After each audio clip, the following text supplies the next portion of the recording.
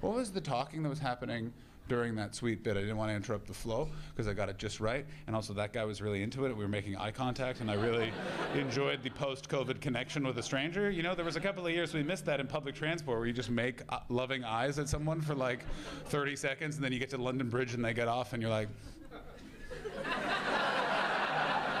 that was my 500 days of summer.